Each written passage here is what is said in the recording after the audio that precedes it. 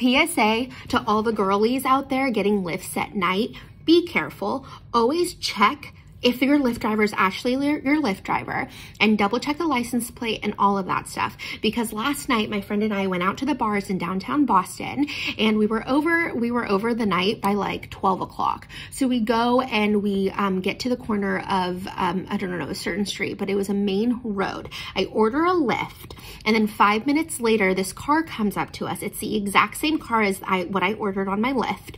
And I open the door and I get in and keep in mind, this is a main road. We're also dressed like we're going out. And I'm like, hey, is this for Kriselle? And he looks back at me and this guy goes, no. And I'm like, um, is this a Lyft? And then he goes, no, do I look like a Lyft?